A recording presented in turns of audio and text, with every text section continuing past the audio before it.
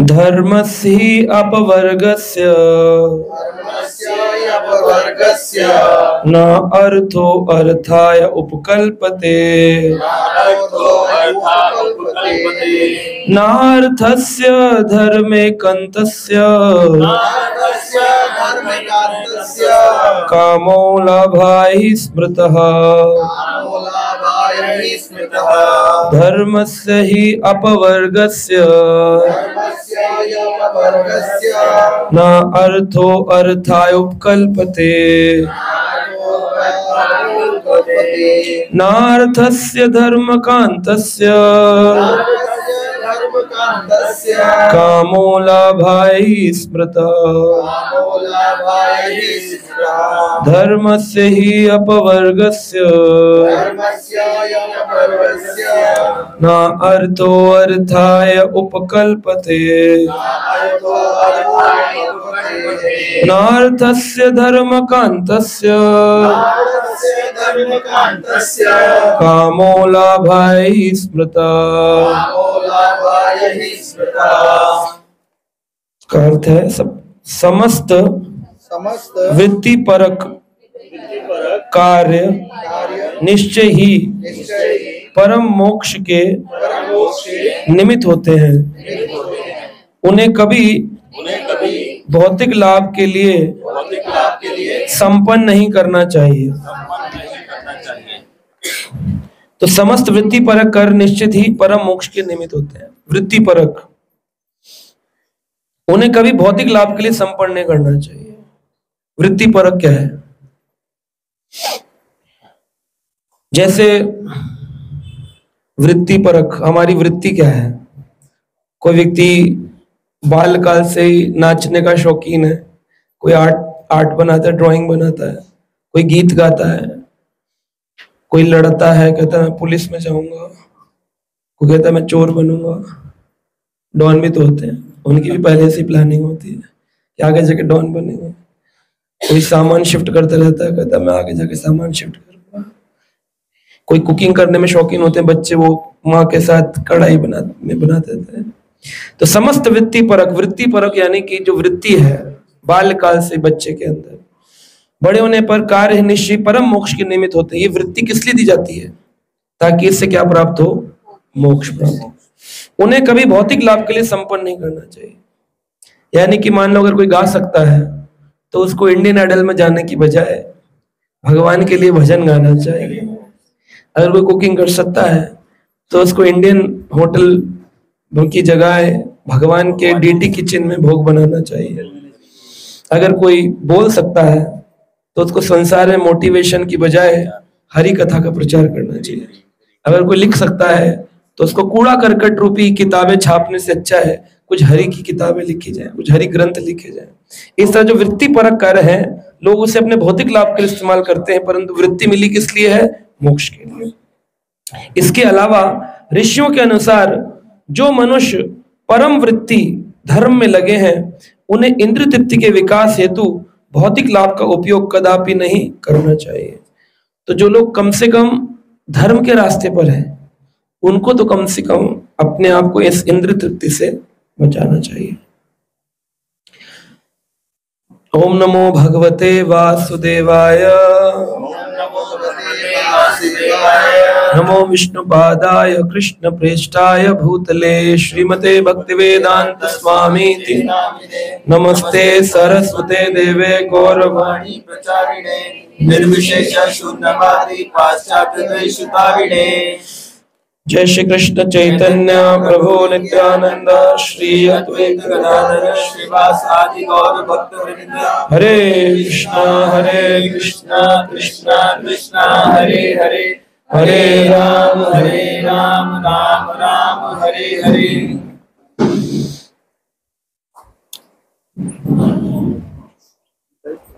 हरे कृष्णा। तो शिल प्रभुपाद जी ने भागवत के इस श्लोक में धर्मस्य ही अपवर्गस्य। से को वृत्ति कहा है। यानी कि बाल काल से व्यक्ति की वृत्ति क्या है? धर्म। जीवात्मा का धर्म ही है भगवान की सेवा करना। लेकिन वो इतने सारे कार्य करता है इंद्र तृप्ति के, वो उसकी वृत्ति है नहीं। वो अपने आप को ज़बरदस्ती लगाता है संसार में। अपवर्ग से क्या है? पवर्ग होता है नीचे और अपवर्ग होता है ऊपर। पवर्ग है जैसे हिंदी वर्णमाला में प, फ भ ब, म, सुना है आपने? प से परिश्रम, है ना? परिश्रम करता व्यक्ति प, फ, फिर उसके परिश्रम करते करते झाग निकल जाते हैं। फिर क्या होता है? ब ब से क्या होता है? उसकी जो बुद्धि है, वो धीरे धीरे क्षीण हो जाती है। आदमी को समझ ही नहीं आता करूँ क्या? फिर उसके बाद भयभीत हो जाता है। फिर माँ अंत में मृत्यु हो जाती है। तो इसको पवर्ग कहते हैं यानी परिश्रम करते करते व्यक्ति मृत्यु तक पहुँच जाता है और वृत्ति पर काम करता रहता है अपनी। मेरे को ये करना है मुझे वो करना है हमें बेटे को वहाँ बनाना है अच्छा डांसर बनाना है अच्छा सिंगर बनाना है अच्छा आर्टिस्ट बनाना है अच्छा पैसे वाला बनाना है अच्छा अच्छा भोग करने वाला बनाना है अच्छा कुक बनाना है अच्छा अच्छा अच्छा के चक्कर में वो अपनी वृत्ति जो धर्म के लिए है उसको इंद्र तृप्ति में लगा देता है। तो इसलिए धर्म से ही अपवर्ग से पवर्ग है नीचे और अपवर्ग है ऊपर, मोक्ष। हम्म। न अर्थो अर्था उपकल्पते। भौतिक लाभ के लिए नहीं है। भगवान के साधना हेतु है। तात्पर्य में शिल प्रभुपाद लिखते हैं, हम पूर्व में बता चुके हैं, पूर्ण ज्ञान तथा भौतिक अस्तित्व से विरक्त श्री भगवान की शुद्ध भक्तिमय सेवा के पीछे पीछे स्वतः आ जाते हैं। किंतु कुछ मनुष्य ऐसे हैं जो मानते हैं कि धर्म से समस्त प्रकार की वृत्तियाँ भौतिक लाभ के निमित्त है। धर्म की वृत्ति किस लिए है? भौतिक लाभ के लिए। सावन आ गया जी, सावन आ गया। चलो, कहा चलो? कांवड़ उठाने चलो। क्यों चलो? क्या मिलेगा उससे? उससे धन मिलेगा, सुख मिलेगा, शक्ति मिलेगी, बल मिलेगा। जो मानते हैं कि धर्म सहित समस्त प्रकार की वृत्तियाँ भौतिक लाभ के निम्न है, संसार के किसी भी भाग में किसी भी साधारण व्यक्ति की समान प्रवृत्ति यही होती है। और वह धार्मिक या अन्य वृत्ति के बदले कोई ना कोई भौतिक लाभ प्राप्त करना चाहता है। यहाँ तक कि वैदिक साहित्य में भी समस्त धार्मिक कृत्यों के लिए भौतिक लाभ का प्रलोभन दिया गया है। अब पुराण लिखे गए हैं। वेद व्यास जी ने वेद लिखे। वेदों के बाद उन्होंने वेदांत सूत्र लिखे, उपनिषद लिखे। जितने अध्याय वेदों में है, तकरीबन 1100 करीब वेद उपनिषद आते हैं जिनमें से 108 प्रमुख हैं मुख्य हैं। कठो उपनिषद हम्म, ब्रह्म शोदशर उपनिषद ब्रह्मण्यक उपनिषद गीतोपनिषद ईशोपनिषद हम्म, हाँ, श्वेताश्वर उपनिषद हुआ। तो इस तरह से 108 मुख्य हैं। फिर वेदों के वेदांत सूत्र उपनिषदों के अलावा फिर उस पर भागवत पुराण आदि लिखे गए। श्रुति स्मृति इतिहास अरण्यक हम्म, दर्शन, बहुत कुछ लिखा गया शास्त्रों में। और सब कुछ, कोई भी कुछ भी पढ़ने लग जाता कहता है, शास्त्री पढ़ रहे तो लिखा है कि भौतिक लाभ के प्रलोभन दिए गए हैं, सच बात है। पद्म पुराण में एकादशी की महिमा लिखी गई है, एकादशी करोगे तो आपको ये इतने इतने धन देने के बराबर का फल मिलेगा। गौ दान का फल मिलेगा, स्वर्ण दान का फल मिलेगा, भूमि दान का फल मिलेगा। तो अधिकांश मनुष्य ऐसे प्रलोभन अथवा धार्मिकता के आशीर्वाद के प्रति आकृष्ट हो जाते कोई व्यक्ति कितना भी माला जपे, एक ज्योतिषाचार मिल जाए और कहे, तुम्हारी कुंडली में शनि भारी है। तो वो चालू हो जाएगा, शनिवार को तेल चढ़ाने। सुबह हरे कृष्णा जपेगा, शाम को तेल चढ़ाएगा। अब कुछ लोग व्हाट्सएप में रोज नए मैसेज भेजते हैं, सोमवार को बाबा भोले की जाए मंगलवार को बजरंग बली की जय, बुधवार को गणपति की जय, बृहस्पतिवार को गुरुदेव की जय, शुक्रवार को संतोषी माता की जाए शनिवार को जय शनिदेव, रविवार को सूर्य भगवान की जय। तो ये सब करते हैं, भौतिक प्रलोभन से आकृष्ट होते हैं। क्या वो गलत है? क्या वो गलत है? वो गलत नहीं है। उनका स्तर अभी भगवान की भक्ति का स्तर नहीं है। दूसरी क्लास में पढ़ने वाले बच्चे से बोलो, दो में से पाँच गए तो कितने बच्चे और जो पढ़ा लिखा नहीं होगा दो में से पाँच कैसे जाएँगे? पाँच में से दो जाएँगे। तो वो इतनी नहीं बता सकता लेकिन जब वो बड़ी क्लास में जाएगा तो बोले दो में से पाँच बोले माइनस थ्री अब जो माइनस तीन बता रहा है उससे बोलो पाइथागोरस क्या होती है? वो नहीं बता सकता। उससे बोलो कैलकुलस क्या होता है? बोले नहीं बता। इंटीग्रेशन क्या होता है? नहीं बता सकता। केमिकल रिएक्शन क्या होता है? नहीं बता सकता। इंजीनियरिंग पढ़ लेगा कोई केमिस्ट्री पढ़ लेगा साइंस पढ़ लेगा वो बता सकता है। वो बता सकता है। तो इस तरह से दूसरी क्लास में पढ़ने वाला बच्चा अपनी ज्ञान से सही है, अज्ञानी नहीं है, अपने स्तर पर सही है। लेकिन उसकी क्रमिक अभी विकास होने में समय लगेगा। तो क्रमिक विकास जब होगा तब वो उस उत्तम कोटि में जाएगा। वृत्तियों के इस चक्र में तथाकथित धार्मिकता भी आती है। तथाकथित धार्मिकता, यानी भगवान कृष्ण के मंदिर भी जाएँगे, लेकिन वो कौन से भक्त होंगे? तथा कथित भक्त नहीं तथा कथित जिसके बाद भौतिक लाभ और भौतिक लाभ के पश्चात इच्छा पूर्ति होती है। इंद्रिय तृप्ति पूर्ण रूप से व्यस्त सभी प्रकार के व्यक्तियों का सामान्य मार्ग है। किंतु श्रीमद भागवत के निर्णय अनुसार इस श्लोक में सुद गोस्वामी के कथन द्वारा इसका निषेध किया गया है। सुद गोस्वामी कहते हैं, ये सब बेकार है। जो ये कर रहा है, उसको भी कई जन्म लगेंगे भगवान के पास जाने में। चाहे आदमी माला भी जपेगा ना तभी भगवान के पास नहीं जा पाएगा। अगर वो इन्हीं संसारी जल चढ़ा लो और बजरंग बली को चूल्हा चढ़ा लो, ये गलत नहीं है। लेकिन एक व्यक्ति जो ऊँचे स्तर पर चला एम टेक में जो चला गया, वो बोले, आज मैं फिर से दूसरी क्लास में जाऊँगा। क्या कहेंगे लोग? क्या कहेंगे? जो एम टेक कर चुका है, बोले, मैं फिर से दूसरी क्लास में जाऊँगा। तो दूसरी क्लास में कैसे जाएगा जो एम टेक कर चुका है? तो वो उसी प्रकार से है कि हम एक बार हरि नाम तक पहुँच गए और फिर वापस उसी स्तर पर आ रहे नीचे गिर रहे फिर नहीं ज़रूरत है जाने की। मनुष्य को चाहिए कि वह केवल भौतिक लाभ के लिए ही कोई वृत्ति ना अपनाए, ना ही भौतिक लाभ का उपयोग इंद्रिय तृप्ति के लिए किया जाए। भौतिक लाभ का सदुपयोग किस प्रकार किया जाता है, इसका वर्णन आगे किया है। जीवन में यहाँ पर शास्त्र में इसके अंदर बहुत सुंदर बताया गया है कि व्यक्ति को अपनी वृत्तियों को भगवान की ओर मोड़ना चाहिए।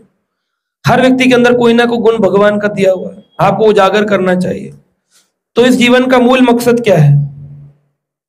मूल मकसद है कृष्ण की प्राप्ति, कृष्ण की प्राप्ति। तो जीवन का लक्ष्य क्या होना चाहिए? तो जीवन का लक्ष्य होना चाहिए, आप लोग लिख लो। जीवन का लक्ष्य होना चाहिए कृष्ण प्रेम की लालसा। प्रेम तो है ही नहीं। तो कृष्ण प्रेम की लालसा होनी चाहिए। या कहें कृष्ण मिलन की लालसा कृष्ण से मिलने की लालसा। है कि नहीं? कितने लोग हैं जो कृष्ण से मिलना चाहते हैं? ऐसे तो नाम लेते हैं। मिले नहीं है आप लोग कभी? कहा? फिर अभी भी लालसा है? तो लालसा को कैसे बनाया जाए? हम्म? मान लो किसी के घर में कोई बीमार हो जाए जब करता हो तो क्या करेगा? भगवान से तुरंत नहीं मांगेगा मेरे बच्चे को ठीक कर दो। मांगेगा कि नहीं मांगेगा? तो जब मांगेगा कि नहीं? झूठ मत बोलो सच सच बोलो। है ना? पति की नौकरी छूट जाए माला करते हुए मन में नहीं आएगा प्रभु नौकरी लगवा दो। तो हमारे अनुमान में बहुत ही कामनाएँ आती है हमारे मन में। लेकिन जीवन का लक्ष्य क्या है? कृष्ण मिलन की तो रूप गोस्वामी ने एक श्लोक बोला है बोलिए मेरे साथ में उत्साह निश्चय धैर्य तत्त कर्म प्रवर्तना असंग त्याग सतो वृत्ति। षड्वीर भक्ति प्रसिद्धि भक्ति कैसे आगे बढ़ेगी? कृष्ण से मिलन कैसे होगा? यह छह कारण बताए हैं। शिला रूप गोस्वामी ने अपने ग्रंथ उपदेशामृत के तीसरे नंबर श्लोक में। वो कहते हैं पहला उत्साहित उत्साह। कितना उत्साह होना चाहिए? बहुत उत्साह होना चाहिए। हरि बोल हिल गया। हरे कृष्ण। पहला क्या है? उत्साह। उत्साहित रहना चाहिए भक्ति की भगवान से मिलने की लालसा अपने कमरे में जहाँ हम पढ़ते हैं बैठते हैं भजन करते हैं उस स्थान में लिख देना चाहिए कि कृष्ण से मिलने का ही जीवन का अंतिम लक्ष्य है। उत्साह कैसा उत्साह होना चाहिए? शिल हरिदास ठाकुर, ब्रह्मा जी के अवतार हमारे शास्त्रों में उनको वर्णन किया गया। तो ब्रह्मा जी ने जब भगवान के बछड़े चुराए तो उनको श्राप दिया। उन्होंने कहा, मुझे ऐसे परिवार में भेजो, मैंने आपके प्रति बड़ा अपराध कर दिया है। तो पश्चाताप करने के लिए भगवान कृष्ण ने ब्रह्मा जी को एक मुसलमान खानदान में जन्म दिया यवन खानदान में। लेकिन बाल्यकाल से ही जब वो बड़े हो रहे थे तो क्योंकि ब्रह्मा जी हैं तो भजन करते थे भगवान के नाम का। उन्होंने कभी आयतें और कुरान की और कुछ भी नहीं पढ़ा। तो उनके लोग उनको काफिर कहते थे। धीरे धीरे जब बड़े हुए तो उन्होंने अद्वैत आचार्य से मिले और उनसे दीक्षा प्राप्त करी। अद्वैताचार्य स्वयं महाविष्णु है तो महाविष्णु से दीक्षा प्राप्त करके और हरिदास ठाकुर भजन करते थे। लेकिन जो वहाँ के राजा थे मुसलमान तो वो खान साहब विरोधी हो गए। उन्होंने कहा इसको मारो। सत्रह बाजारों में मारा गया। आपको सत्रह बाज़ार तो छोड़ो। आपको आपस के दो तीन लोग मार देना।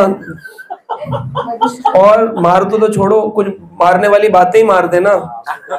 हाँ तो तुरंत आपका संग छूट जाता है। लोगों के अंदर इतना अहंकार भरा हुआ है। और आपस के भक्त तो छोड़ो, गुरु ही अगर शिक्षा देने के लिए कुछ समझा दे तो बुरा मान करके छोड़कर चले जाएँगे। तो इसलिए ये कलयुग का मार्ग भगवान को प्राप्त करना बहुत बहुत बहुत कठिन है। बहुत कठिन। हरदास ठाकुर ने सत्रह बाजारों में पिटाई खाई, जो बाईस बाजारों में, बाईस बाजारों में उन्होंने पिटाई खाई। और बाईस बाजारों में पिटने के बाद जो मारने वाले थे, हाथ में जो कोड़ा लेकर मार रहे थे, वो थक गए और रोने लगे, बोले, हरिदास, माफ़ कर दे, मान जा, बोल, मैं मर गया, मैं थक गया, मैं मर गया, मैं थक गया, ऐसा तो बोल सकता है।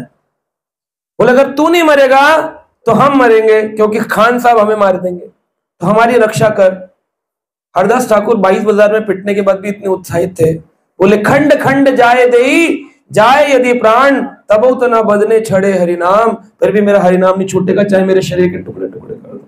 हरी हरी। ऐसा उनका भाव। तो बोले हम तुझे मान गए तू बहुत महान भक्त है। आयते नहीं पड़ेगा काफिर बन के रहेगा सुनेगा लेकिन हरि नाम नहीं छोड़ेगा। वाह तेरा उत्साह बहुत सुंदर है। लेकिन हमारी तो सोच क्योंकि हमने सुना है वैष्णव जो होते हैं वो हरि नाम में रुचि भी रखते हैं साथ में कृपालु भी होते हैं। हरी हरी। तो हम पर कृपालु नहीं होगा क्योंकि हम पिट रहेंगे तेरे कारण। बोले हाँ फिर क्या करें? बोले तो एक काम करो, उसको कह दो खान साहब को कि मैं मर गया और मुझे रस्सियों में बाँध करके गंगा जी में बहा दो। मैं मर जाऊँगा, तभी तो पानी में फेंकूँगा और कहना उसकी लाश को हमने गंगा जी में बहा दिया, उसका हमने अंतिम संस्कार नहीं किया, कुछ नहीं किया। क्योंकि मुस्लिम धर्म समुदाय के अनुसार मुझे कब्र मिलनी चाहिए थी लेकिन कब्र बनेगी नहीं तो कहना देखो उसको धिक्कार कर दिया समुदाय से तिरस्कार कर दिया और उठा करके उन्होंने उनको गंगा जी में फेंक दिया। तो वो लोग तो बच गए। खान साहब बोले बहुत अच्छा हुआ। लेकिन उधर हरिदास ठाकुर धीरे धीरे रस्सियाँ खोल के पानी के मध्य भाग से और दूसरे किनारे कहीं निकले और वहाँ जाके प्रचार चालू कर दिया कि हरि कृष्ण महामन से बढ़कर के संसार में और कुछ भी नहीं है। ये उत्साह चाहिए। ये उत्साह चाहिए। ऐसा उत्साह नहीं चाहिए कि सोमवार को जल भी चढ़ा रहे हैं। क्या करें जी घर वाले? नहीं मानते जी। क्या करें जी घर वाले? आपको मार तो नहीं रहे बाईस बाजारों में? फिर भी आपका छूट जाता है क्योंकि आपकी निष्ठा नहीं है, उत्साह नहीं है। और भगवान को पाने के लिए पहला अंग है उत्साह। दूसरा है निश्चय। निश्चय क्या है? निश्चय कर लो कि गुरु के वचन शास्त्र के वचन, इनमें संदेह नहीं होना चाहिए। अगर भागवत में लिखा है, इंद्र तृप्ति में नहीं लगाना है, कंटी पहनकर, जप माला हाथ में लेकर, फिर भी इंद्र तृप्ति में अपने शरीर को लगाना तो ये तो भागवत के वचन को मानना नहीं हुआ गुरु ने कहा, शरणागति भाव से भजन करो तो गुरु का वचन मानना नहीं हुआ गुरु को साधारण मनुष्य नहीं मानना, छह महीने तक नहीं मानते, छह महीने बाद मान लेते कह रहे, पहले नहीं मानते थे, अब मान लेते अब गुरु में दोष दिखता है हमको। गुरु मनुष्य है। है ना? कंपैरेटिव स्टडी करते हैं, प्रतिस्पर्धा की भावना जागृत करते हैं, निंदक बन जाते हैं और धीरे धीरे भक्ति मार्ग के इस अद्भुत मार्ग को त्याग देते हैं। क्योंकि आए किस लिए थे?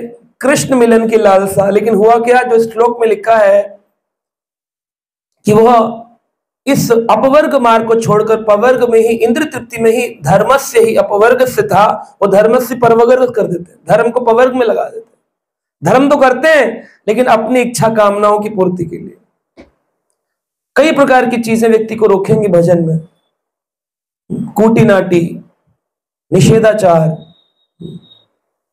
कनक, कामिनी, मान, प्रतिष्ठा, बहुत सारा की चीज़ें चूकते हैं। बहुत गहरा विषय है। तो धन हाथ में पैसा ना हो कौन सा व्यक्ति होगा जो भगवान से निकलेगा प्रभु धन तो दे दो कम से कम कनक चाहिए। कामिनी भक्त लोग शादी के लिए दूल्हा दुल्हन ढूंढते रहते हैं भजन कर तुम भजन करने आए थे दूल्हा दुल्हन ढूँढने आए थे? और कुछ तो ग्रुप छोड़ के चले गए आप तो अच्छा मैच मेकिंग करते नहीं हाँ, हाँ, आप, आपको गुरु किस लिए बनाया था? शादी तो करवाओ हमारे बच्चे की। इसलिए तो बनवाया था। आप ये भी नहीं करा सके आप बेकार गुरु। क्योंकि तो पहले जमाने में ब्राह्मण लोग शादियाँ करवाते तो लोगों की मति ऐसी है कि या तो ज्योतिष कुंडली देखता होगा, या तो शादी करवाता होगा। दोनों काम नहीं कराते तो हमारे लिए बेकार हो। हमें नहीं चाहिए कृष्ण। तो धर्म से ही पवर्स कर दिया धर्म का तो गुरु के प्रति वो निश्चित नहीं रहते। कि आज अगर गुरु ने बोला है तो कल कल नहीं तो परसों वह कार्य पूर्ण होगा। जहाँ संदेह आया, वहीं भक्ति का मार्ग छिन्न हो जाता है। भक्ति में खिन्नता आती है। भक्ति में व्यक्ति को मन में लगेगा अरे, कहाँ फंस गया चक्कर में? मज़ा नहीं आ रहा। हमारी हमारी बेइज्जती करके चले गए, बताओ। रोने लगते हैं भक्त। अरे, हम तो हमारी तो बेइज्जती हो गई। हमारी तो बेइज्जती हो गई। तुम्हारी बेइज्जती क्यों हुई? क्योंकि तुम्हें इज़्ज़त की कामना है। यानी कहीं ना कहीं तुम भगवान की भक्ति का आश्रय नहीं लिया है तुमने अपनी इच्छाओं का आश्रय लिया है। और अपनी इच्छाओं का आश्रय जब है तो हमेशा ही दुख मिलेगा मिलेगा। हरि भजन करके भी दुखी हो इसका मतलब हरि भजन तो कभी किया क्योंकि जहाँ हरि है वहाँ दुख नहीं रह सकता। जहाँ दुख है वहाँ हरि नहीं। जहाँ हरि है वहाँ मैं नहीं। जहाँ मैं हूँ वहाँ हरि नहीं। हरि हरि। क्यों? क्योंकि प्रेम गली अति साकरी जा में दो न या तो आपकी काम वासना रहेगी, इच्छाएँ रहेंगी, है ना? हम उन भक्त के घर नहीं जाएँगे, क्यों? वहाँ इज़्ज़त नहीं मिलती। तो तुम इज़्ज़त के लिए आयो भगवान के लिए आयो हाँ? प्रभु जी, उन्होंने हमारी बेइज्जती कर दी, आपके घर आए, आपने हमारी बेइज्जती। इज़्ज़त, बेइज्जती, भक्त भी ये बातें कर रहे हैं क्या? अरे, भक्त को तो धूल धूल के अंदर बैठा दिया जाए ना तो अभी हरी कथा मिल रही है। वाह वाह वाह प्रभु के दर्शन। वाह वाह। ऐसा। तो इस प्रकार से निश्चित हो जाए कि ये मार्ग हमें हमें अवश्य ही भगवत प्राप्ति कराएगा। निश्चय हो। भागवत पर निश्चय हो। गीता पर निश्चय हो। संशय ना हो। भगवत गीता कहती है, संशय आत्मा विनश्यति। संशय आत्मा संशय आएगा, विनाश हो जाएगा। संशय कौन है? संशय असुर है। असुर कौन होते? असुर लोग हमारी तरह जन्म नहीं लेते। हम लोग जन्म लेते हैं धीरे धीरे बढ़ते हैं। देवता हो गए या मनुष्य हो गए, पर असुर कैसे होते हैं? वो जैसे जन्म लेते हैं तुरंत विशाल काय हो जाते? पैदा हुए और तुरंत विशाल काय है? बड़ा होता देखते देखते। वो धीरे धीरे बड़ा नहीं होता। छोटे छोटे असुर देखे कभी? कहीं कोई किस्सा सुना? असुर कुमार, असुर बालक। देवता देखे बालक रूप में, राम देखे, कृष्ण देखे, जो भगवान होकर भी बाल लीला करते, मनुष्य तो बालक देखे ही है। असुर बालक देखे? तो सब विशाल काय हो जाते तुरंत ही? बड़े हो जाते हैं, पैदा होते। तो कहा गया आचार्यों के द्वारा कि संशय असुर है। जैसे ही पैदा हुआ, उसको अगर मारा नहीं, तुरंत बड़ा हो जाएगा। और कितना बड़ा हो जाएगा? पूरे हृदय को घेर लेगा। जहाँ आपकी भक्ति थी, सब आदमी का इतने अच्छे भक्त थे, प्रभु जी वो क्यों छोड़ गए? उनके मन में एक संशय आया। और वो संशय असुर समान बड़ा हो गया, तुरंत। इसलिए भक्त को तुरंत ही अपना इलाज कराना चाहिए, अपने गुरु, अपने वैष्णवों के पास जाकर दिल की बात, हमारे मन में ये संशय आ रहा है। दूसरे भक्त से चर्चा नहीं करनी चाहिए, हमारे मन में ये संशय आ रहा है। ऐसे बहुत सारे भक्त हैं, दस जगह फ़ोन करते हैं, आपका क्या सोचना है माता जी आपका क्या बोलना है माता जी आपका क्या कहना है प्रभु जी प्रभु जी ऐसे करते हैं माता जी ऐसे करते हैं, ये सब चर्चा करेंगे। असुर मरेगा, क्योंकि जिनसे आप चर्चा कर रहे हो, उनके खुद के हृदय में असुर बैठा है, वो कैसे मारेंगे? असुर को तो वही मार सकता है जो मुक्त व्यक्ति है। वो कैसे मारे? तो इस प्रकार निश्चित नहीं हो पाते हैं, संशय रहता है और संशय को समाप्त कर देना ही भक्ति में अग्रसर करता है। फिर तीसरा अंक बताया भक्ति का धैर्य कृष्ण अनुभूति में विलंब हो सकता है। तो आपको कृष्ण की अनुभूति हो रही है, माला जप रहे हैं, बोले, अभी तो नहीं हुई प्रभु जी जब तो रहे लेकिन अनुभव नहीं हुआ, वो आनंद नहीं आ रहा। कृष्ण अनुभूति में देर हो सकती है, पर छोड़ना नहीं है। छोड़ना नहीं है। देर तो लगती है, लेकिन छोड़ना नहीं। एक बार दो लोगों ने हैंडपंप से पानी निकालना शुरू किया। दो मित्र थे। एक हैंडपंप एस एक साइड पे था, एक हैंडपंप दूसरी साइड पे था। इसने एक बार ऊपर नीचे किया, पानी नहीं आया। इसने एक बार किया, पानी आ गया। इसने फिर एक बार दो बार किया, नहीं आया। इसने फिर दो बार किया, फिर पानी आ गया। इसने फिर एक दो बार किया, फिर पानी नहीं आया। इसने एक दो बार किया, फिर पानी आ गया। तो इस तरह से उसने पाँच, दस बाल्टी पानी निकाल लिया और ये वाला मुँह देखता रहा कि उसके तो बाल्टियाँ बाल्टियाँ आ रही बाल्टियाँ बाल्टियाँ आ रही मेरा तो पानी नहीं आ रहा। तो गुस्सा आ गया। और गुस्सा आते उसने क्या किया? उस हैंडपंप को छोड़ दिया। और जब इधर आया तो वो वाला बोला, मेरा तो काम हो गया, मैं जा रहा हूँ तो निकाल ले पानी। उसने फिर मारे इधर भी पानी लिया। हमारे व्रज में कहते जहाँ जाए ओखा वहाँ पड़े सूखा। जब ओखा व्यक्ति जाता है वहाँ पर सूखा पड़ जाता है। ये ओखा कैसे हो गया? सूखा कैसे हो गया? एक्चुअली ग्राउंड लेवल अलग अलग था। यहाँ पर दस बार हैंडपंप आगे पीछे करने पर पानी की सतह बिल्कुल ऊपर आ गई थी। लेकिन दसवीं बार वो हतोत्साहित होकर उसने त्याग दिया। लेकिन इधर वाला जो था उसका पानी ही दस बार का था। तो दस बार होकर के इधर तो पानी खत्म हो गया। और ये वाला जो था इसके पास अथा सागर आने वाला था कि वो 100, 200, 500 बाल्टी भर सकता था। लेकिन उसने दूसरे वाले से प्रतिस्पर्धा करी कि उसने 10 बाल्टी भर ली मेरी एक भी नहीं निकली। मेरे प्रयास विफल जा रहे हैं। मुझे अनुभूति नहीं हो रही है। तो हम देखते हैं कि शिव जी को जल चढ़ा के आया और वो हनुमान जी के मंदिर जा रहा है उसकी गाड़ी आ गई उसकी नौकरी लग गई। प्रभु जी वो तो कोई भजन नहीं करता बस एक ऐसे पीते खाते लेकिन मंगलवार को बस ऐसे कर लेते हैं। उनकी तो ये हो गया हमारा कुछ नहीं हो रहा। हम क्या करें? हम क्या करें? हम क्या करें? अरे धैर्यवान बनो। क्योंकि आपका जो मार्ग है वो दस बार के बाद जब पानी निकलेगा ना उसके बाद अथा सागर है। फिर हज़ारों गाड़ियाँ नौछावर हो जाती है इसी प्रेम के ऊपर। तो उस स्तन का उस, स्तर का इंतज़ार करना पड़ता है। किसमें है? शक्ति धैर्य की। धैर्यवान नहीं है ना। भक्ति का मार्ग धैर्यता का मार्ग है रूप गोस्वामी ने कहा। शादी होकर आई बहु रानी। सास कहती है कि अगले दिन सुबह उठ करके, हमारा पोता कहाँ है?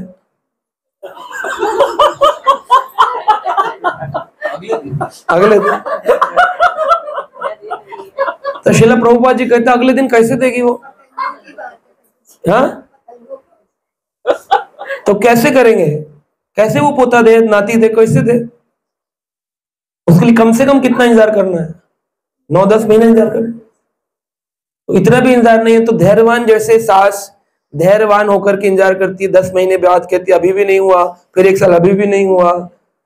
इंतज़ार करते रहते वो इंतज़ार, लेकिन उसमें कोई लोगों का डाइवोर्स हो गया।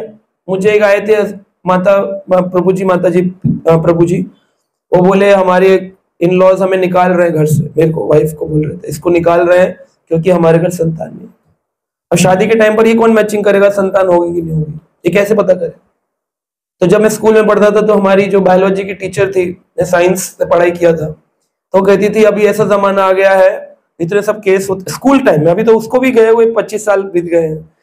वो कहती थी कि टीचर हमारी कि आजकल कुंडली मिलाने से अच्छा है कि, है ना, लोगों की हेल्थ चार्ट्स मिलाए जाए, कि दोनों हेल्दी हैं कि नहीं। क्योंकि आपने कुंडली मिलाई है उसमें थोड़ी लिखा हुआ है कि क्या होने वाला है हेल्थ इश्यूज़ क्या आने वाले हैं।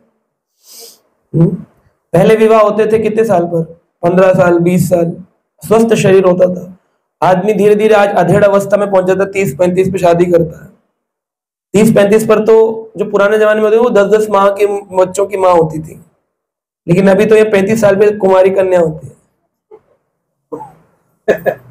एक मुझे मिले अभी एक प्रोग्राम में, वो दोनों फोर्टी सेवन ईयर्स के हस्बैंड वाइफ थे। बोले we are newly valid married सैतालीस पर उन्होंने विवाह किया। जहाँ वानप्रस्थी का प्लान बता रहे लोगों को, वहाँ वो गृहस्थी का प्लान लेकर आए थे मेरे। बोले, आपका आशीर्वाद चाहिए। मैंने कहा, काम नहीं करेगा।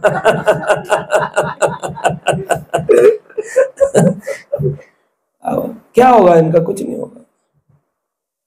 तो इस प्रकार से धैर्यवान बनना चाहिए भक्ति के मार्ग पे कृष्ण अनुभव में देर हो सकती है, परंतु अगर तुकाराम को कृष्ण मिले अगर मीराबाई को कृष्ण मिले, अगर रूप गोस्वामी को कृष्ण मिले, अगर जीव गोस्वामी को कृष्ण मिले, शिला प्रभुपाद को कृष्ण मिले तो उसी मार्ग पर आपको क्यों नहीं मिले? वो क्या हरे कृष्ण महामंत्र में आगे पीछे कुछ लगा रहे थे क्या? वो ओम हरे कृष्ण हरे कृष्ण करते थे क्या? हरे कृष्ण हरे कृष्ण कृष्ण कृष्ण, हरे हरे हरे राम हरे राम राम राम, हरे हरे प्रचोदयात स्वाहा। ऐसा तो कुछ नहीं था। उनका भी हरे कृष्ण ऐसे ही था ना से तो क्या फ़र्क है? आपके हरे कृष्णा में आपके दुख भी दूर नहीं हो रहे, उनको प्रभु मिल रहे धैर्य धैर्यवान अगला बोला तत्त कर्म प्रवर्तनात्। तो जो गुरु के दिया मार्ग है तत्त कर्म प्रवर्तनात्। अगर उस मार्ग में चले तो अपने आप ही प्रतिफलित फल अपने आप प्राप्त होंगे। गुरु जी ने जो मार्ग दे दिया, उस मार्ग पर क्वेश्चन नहीं उठाना चाहिए। कि ऐसा क्यों? अच्छा प्रभु जी बताइए, पहले तो गौड़िया मठ में चौसठ माला होती थी ना? प्रभुपा जी ने सोलह क्यों कर दी? सोलह क्यों कर दी? चैतन्य महाप्रभु तो बोलते हैं ना कि चौसठ माला जो नहीं करता, उसका भगवान भोग स्वीकार नहीं करते। इसलिए प्रभु जी हम सेवा नहीं करते, हम चौसठ माला करते ताकि हमारा भोग खाए भगवान। तो शिला प्रभुपाद ने सोलह माला क्यों कही? तो आप गुरु को नहीं मान रहे, आचार्य को नहीं मान रहे।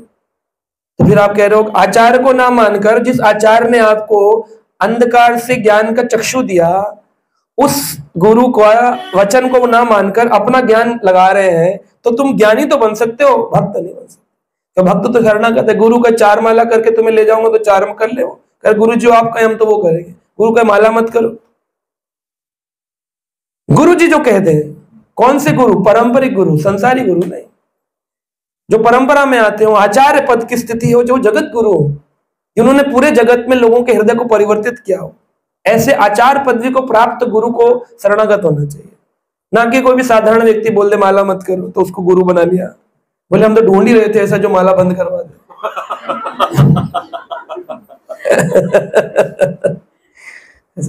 तो तत्त कर्म प्रवर्तना तत्त कर्म प्रवर्तना बहुत बहुत बड़ा प्रवचन है इस पे। एक दिन लग जाए पूरा प्रवचन में इतना बड़ा ये टॉपिक है। तत्त कर्म प्रवर्तनात् प्रवर्तनाथ है ना ये जो प्रवृत्ति की बात हमने करी अपनी वृत्ति की जो बात करी है हम्म, सबकी एक वृत्ति होती है जिसको मनोवृत्ति कहते हैं। मनोवृत्ति क्या है? एटीट्यूड अंग्रेज़ी में उसे एटीट्यूड कहते हैं हिंदी में उसे मनोवृत्ति। वृत्ति है जो हमारी एक चेष्टा वृत्ति कि मैं कुछ करना चाहता हूँ उसकी एक वृत्ति है। किसी की बोलने की वृत्ति है किसी की मौन की वृत्ति है। सबकी अलग अलग वृत्ति होती है। और उसी वृत्ति को मनोवृत्ति कहते हैं। मनोवृत्ति बनती है उसका एटीट्यूड होता है। बहुत अच्छा गायक हो, बहुत अच्छा खाना बनाने वाला हो, बहुत अच्छा बोलने वाला हो, लेकिन अगर उसकी मनोवृत्ति बिगड़ी हुई है ना तो उसका कुछ नहीं हो सकता।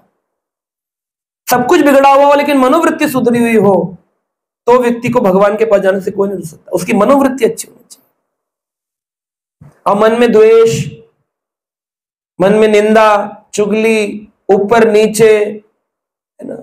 वही, पहले तो यही समझ नहीं पाते हैं गुरु जी के पास तो पैसे नहीं है। ये खुश कैसे रहते हैं? ये खुश कैसे रहते हैं? क्योंकि उनको तो लगता है खुशी किसमें पैसे गुरु जी के पास तो है नहीं। गुरु जी ने तो परिवार भी त्याग रखा है।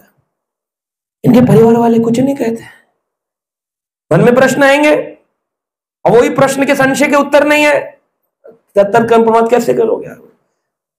पहले तो ये स्थापित कर लो कि ये जो है ये सही है। जैसे भी हैं, अब हमने इनको शरणागत कर दिया। उसके बाद तो भक्ति की प्रगति चालू होती। इसलिए जब गुरु दीक्षा देते हैं, उसका नाम क्या है? इनिशिएशन इनिशिएशन यानी बिगनिंग शुरुआत।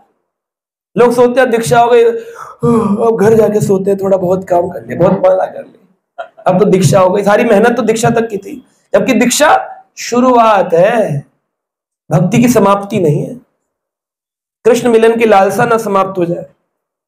तत्त कर्म प्रवर्तना, जैसे कर्म कह दिए वैसे कर्म करना चाहिए। यह वृत्ति माननी इसे मनोवृत्ति कहते हैं। फिर असंग त्यागात, असंग का त्याग कर देना चाहिए। असंग त्यागत क्या है? कर्मी लोगों का त्याग कर दो। जो लोग कर्मी है ना, कर्मी कौन होते हैं? कृमि कृमि होता कीड़ा। कृमि से कर्मी। कृमि एक कीड़े जैसा जीवन है जिसका कैसा जीवन है? जब बारिश अभी चल रही है आजकल तो पतंगे आते हैं। कैंडल लाइट में रात को। कितनी देर में मर जाते हैं? एक रात में मर जाते हैं। पर आपको पता है, एक रात में वो बच्चे भी पैदा करते हैं, शादियाँ भी करवाते हैं उनकी बैंकुट हॉल में उनके अपने। हाँ बैंकुट हॉल है, शादियाँ हैं प्रिंटिंग प्रेस है, उनकी कार्ड छपते हैं। शादियाँ होती हैं डिनर पार्टियाँ होती हैं, भोग वृत्ति की बातें होती हैं, धन का लेन देन होता है, नौकरी होती है, बच्चे पालते सब कुछ होता है। और सुबह उनका समाज, समुदाय समाप्त हो जाता है। तो उनकी आयु कितनी छोटी है? बारह घंटे से भी कम। तो हमको हँसी आएगी ऐसा थोड़ी हो सकता ब्रह्मा जी की दृष्टि में, ब्रह्मा जी का एक दिन एक हज़ार चतुर्युग के बराबर है।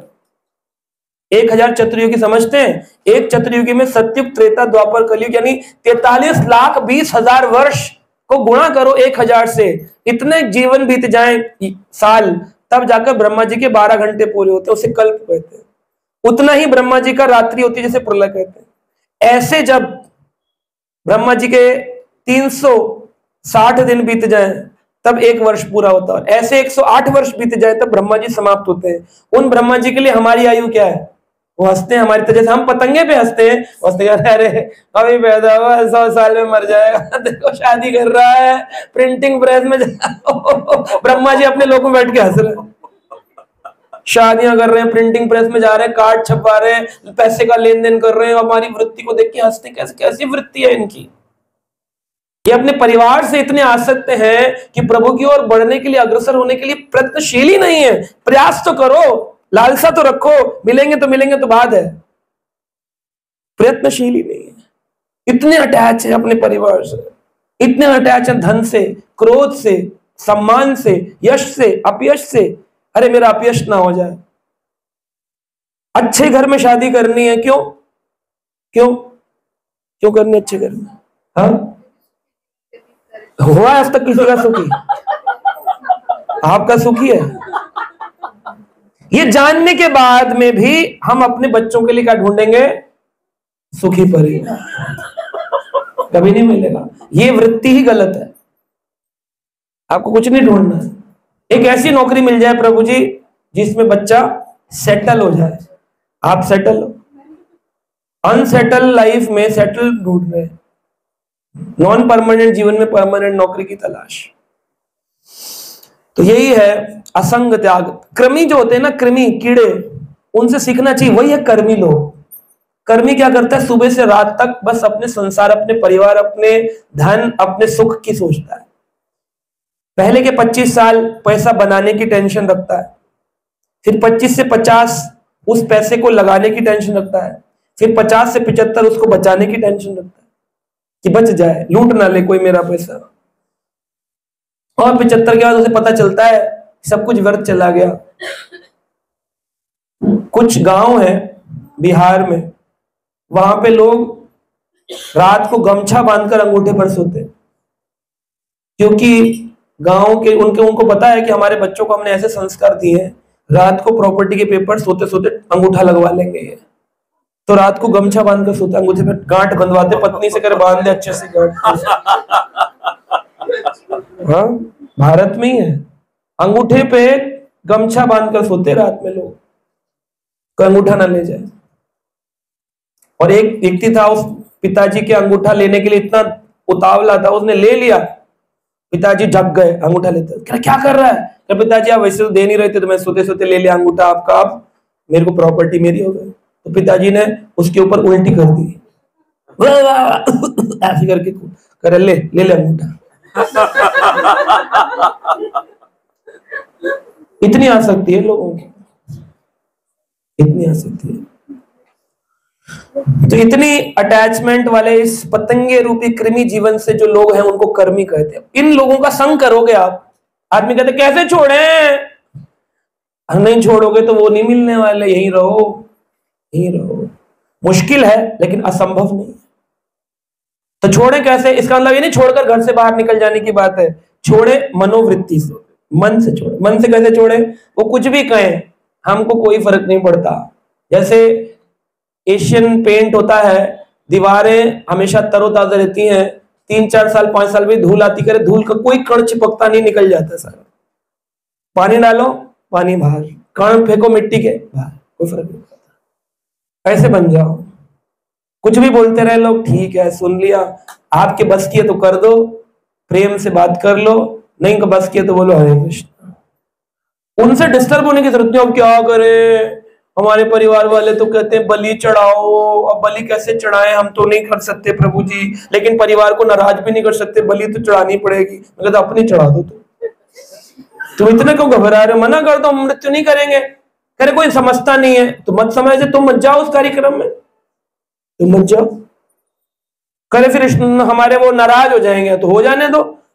तुम्हें वो नाराज़ कर सकते हैं तुम उन्हें नाराज़ नहीं कर सकते। एक दिन मुझे किसी ने बोला बोले वो प्याज का परांठा बनाते हैं उनके घर में और वो प्यार से बनाते हैं तो क्या प्रभु जी हमें खाना चाहिए कि नहीं? प्यार से मैंने कहा तो आप उनसे कहो कि मैं प्याज का पराठा खाने को तैयार हूँ। आप प्यार से मैं सोलह मला का नियम ले लो आज लेंगे नहीं। बोले क्यों? बोले वो इतना प्यार नहीं करते। तुम इतना क्यों करते हो कि तुम उनके कारण अपना नियम तोड़ते हो? क्या वो तुम्हारे से प्यार नहीं करते? तो तुम एक साइडेड वन साइडेड लव क्यों रख रहे हो? जब वो तुम्हारे साथ नहीं तो तुम उनके साथ क्यों? रहो लेकिन मन से सोच लो ये मेरे नहीं है। जब ये मेरे मार्ग में नहीं मैं इनके मार्ग में ऐसा जो रख सकते असंग त्याग कर्मी लोगों का त्याग। दूसरा ज्ञानियों का त्याग। बड़े ज्ञानी मिलेंगे वेद पाठी मिलेंगे। योगा तो करना चाहिए ना। करने से होगा। फिर योगा। शारीरिक योगा कर सकते हो। कितना कर सकते हो? बोले, शरीर माध्यम कलो धर्म साधनम। शरीर के माध्यम से कलयुग के धर्म का साधन होता है। लेकिन इतना भी नहीं लग जाना है कि हमारा रास्ता ही छूट जाए। अब ऐसे जो कर्मी हैं, ज्ञानी हैं, योगी हैं, मायावादी हैं। मायावादी कौन होते हैं? जो कहते हैं, सारे देवता बराबर होते हैं। सारे रास्ते एक ही तरफ़ जाते हैं। ऐसे जो मायावादी, इनको मायावादी कहते हैं। उनसे बोलो, सारे रास्ते अगर एक तरफ़ जाते हैं तो तुम अलग अलग रास्ते पर क्यों जाते हो रोज सुबह? एक ही रास्ते से जाया करो। भाई, तुम्हें दिल्ली जाना है, तुम इधर जाते हो, तुम्हें कलकत्ता जाना इधर जाते हो, चेन्नई जाना उधर जाते हो। एक ही रास्ते पर जाया करो, सारे रास्ते की तरफ़ तो जाते हैं। तो ये पंथ ही उनका गलत है। तो इस, इन लोगों से कैसे जीता जाए? तो एक कथा बड़ी सुंदर आती है। कहते हैं कि एक मछली मार था और उसने, मछली मारने वाला जो व्यक्ति होता है, उसने अपनी रॉड में दाना फंसाया था और लेकर के मछली को पकड़ने गया था। तालाब के किनारे बैठ गया। और जब मछली पकड़ने बैठा तो कोई मछली उसके कांटे में नहीं आ रही थी। उसको बड़ा आश्चर्य हुआ कि आज कोई मछली फंस नहीं रही है। तो उसने प्रश्न किया मछली फंस क्यों नहीं रही है? तो वहाँ बैठा एक व्यक्ति था वो हंसने लगा। बोला कि जी मछली इसलिए नहीं पड़ रही फंस रही है क्योंकि कुछ दिन पहले यहाँ सत्संग हुआ था। और सत्संग में उन्होंने कहा था मौनम सर्व विजय थे मौन व्यक्ति हमेशा विजय प्राप्त करता है। तो इसलिए मछलियाँ जो है उन्होंने अपना मुँह खोलना बंद कर दिया है। अब मुँह खोलेंगी तभी तो कांटा मुँह में जाएगा। तो ये बात बिल्कुल सच है। हमारे ऊपर भी ये बात अप्लाई होती है कि हम क्यों फंसते संसार में? क्योंकि हम बोलते हैं। आपके परिवार के किसी व्यक्ति ने आपको कुछ कमेंट कर दिया हाँ हाँ हो गई तुम बीना भाई, ऐसे नहीं होती। तो तुम तुरंत ही उनका उत्तर देने लग जाओगे कि हाँ मीराबाई तो नहीं हो सकते, लेकिन प्रयास तो करना पड़ता है। प्रभुपाद जी कहते हैं, ग्रंथों में लिखा है, गीता में लिखा है, कहा लिखा है? किसने लिखा है? कौन था? वेद व्यास तो इंसान थे। आपकी चर्चा युद्ध में बदल जाएगी। तर्क वितर्क होगा। तो इसलिए क्या रहो, कुछ समझाओ, प्रयास करो। अगर कोई प्रेम से समझे, नहीं तो मौनम सर्व विजय थे चाणक पंडित कहते हैं, मौन व्यक्ति जीता एक एक चुप, सौ सुख, है ना? तो एक चुप रहेंगे तो सौ सुख मिलेंगे जीवन में। इसलिए एक बार एक कवि थे, कवि जो होते हैं, जो कविताएँ गाते हैं, वो एक हलवाई की दुकान पर पहुँचे। जलेबी ली और वहीं खाने बैठे इतने में एक कौआ आया, वो भी जलेबी लेकर के चोच मार करके खाना चाह रहा था तो उसने हट हट कहा तो उसने दही के अंदर मुँह मार दिया कौए तो जो वहाँ पर बैठा व्यक्ति था, हलवाई, उसने उठाकर एक पत्थर ज़ोर से कौए को खींच के मारा। तो कौवे को लगा और कौए की मृत्यु हो गई। तो वहाँ पर एक कवि बैठे थे। उन्होंने एक पंक्ति लिखी। कहा काग दही पर जान गवायो। क्या काग? कवि को क्या कहते हैं? काग दही पर जान दही पर तो जान गवाई। वहाँ पर कुछ और लोग बैठे थे। उसमें एक व्यक्ति था जो कि मुनीमगिरी का काम करता था यानी कि क्या बोलते हैं? कैश अकाउंटेंट अकाउंटेंट लेखपाल। लेखपाल था कागजों में हेरा फेरी करता था। तो उसको लगा मेरी बात पकड़ी गई है। क्योंकि उसको क्या लगा? उसको लगा कह रहा है कागद कागद ही पर जान गवाए। उसको नौकरी से निकाल दिया गया था तो बोले सच बात है ज्ञान प्राप्त हुआ कागद ही पर जान। तो बोला ये तो बिल्कुल मेरी लिखी पंक्ति वहाँ पर एक व्यक्ति था जो कि प्रेम प्रेम तो नहीं कर सकते। संसारी लंपट टाइप का व्यक्ति था। वो लंपट व्यक्ति था, किसी स्त्री से प्रेम करता था, लेकिन उसने पैसे के चक्कर में उस पुरुष को छोड़कर किसी और से विवाह कर लिया। तो इतनी सुंदर भी नहीं थी, लेकिन कहते हैं ना मतलब जैसी भी हो, अगर एक बार व्यक्ति उसके, उसमें चक्कर में आ जाता है, सब कुछ गवा देता है अपना। तो उस वो व्यक्ति भी वहाँ आया था। उसको क्या लगा? कह रहे हैं, का गधी पर जान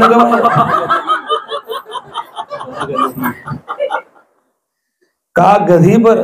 तो एक ने सोचा काग दही पर जान गवायो एक बोला, कागद ही पर जान गवायो एक बोला, का गधी पर जान गवायो तो एक पंक्ति के अलग अलग मतलब है। जाकी रही भावना जैसी प्रभु मूर्तिन तो इसलिए लोग शास्त्रों को समझ नहीं पाते हैं और अपने अपने अनुसार आपको बताएँगे, ऐसे ज्ञानी कर्मी लोग अपनी कहावतें ले आएँगे। जैसे एक कहावत है, घर का बेदी लंका डाए एक सही कहावत है। सही है? फिर भी बोलते हैं।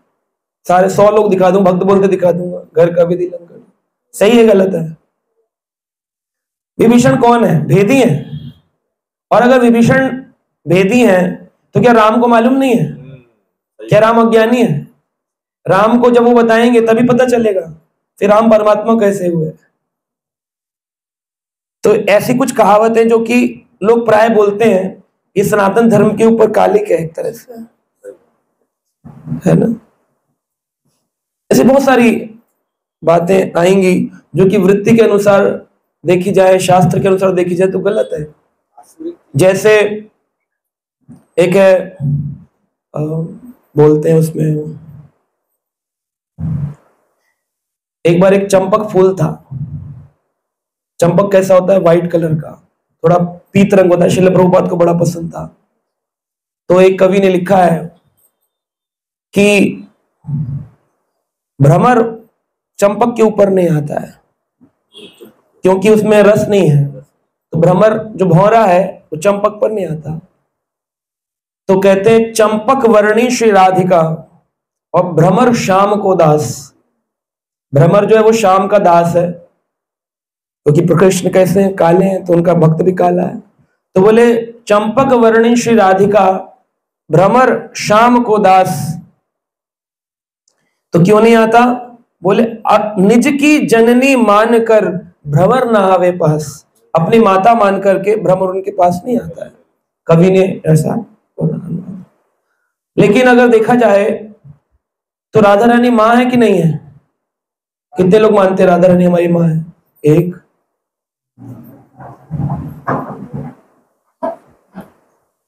अच्छा। तो ये मानना फिलॉसफी के गलत है अगेंस्ट है। क्योंकि गौड़ी वैष्णव विचारधारा में राधा रानी हमारी माँ नहीं है। आप कौन हो? आप कौन सी भक्ति करते हो? हरे कृष्ण महामंत्र क्या है? रास नृत्य में प्रवेश करने के लिए। यानी मंजरी, सखी या गोपी भाव से आप राधा रानी के, आप हमारी कौन है?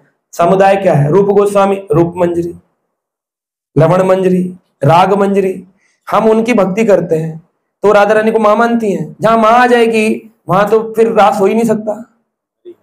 हो सकता है। तो आप सेविका बन सकते हैं, दास बन सकते हैं, लेकिन आपने जैसे माँ सोच लिया कि राधा रानी मेरी माँ है तो फिर तो वहाँ पे माता पिता आ गए। माता पिता तो सम्मान की दृष्टि आगे, सम्मान की दृष्टि, प्रेम खत्म हो गया। प्रेम खत्म हो गया तो कृष्ण मिलन की लालसा कैसे पूरी होगी? नहीं, वात्सल्य नहीं, वात्सल्य तो वात्सल्य तो तब है जब आप कृष्ण को वात्सल्य नहीं है, ऐश्वर्य भाव। ऐश्वर्य भाव आ गया क्योंकि राधा कृष्ण को माता पिता मानकर क्या करता है? आदमी चरण धोता है, आरती करता है, प्रणाम करता है, डर के रहता है। जहाँ डर है, वहाँ पाँचों रस समाप्त हो जाएँगे। ना आपको माधुर्य मिलेगा, ना आपको साख्य मिलेगा, ना आपको हाँ ना दास से, दास तो मिल जाएगा। लेकिन तीन जो प्रमुख हैं, वात्सल्य, साख्य और माधुर्य तीनों टूट जाएँगे। टूटे के नहीं टूटे? लेकिन आप शास्त्र की दृष्टि से देखेंगे तो लिखा होता है कि Radha Rani is an eternal mother लेकिन एटर्नल मदर किस चीज़ के लिए?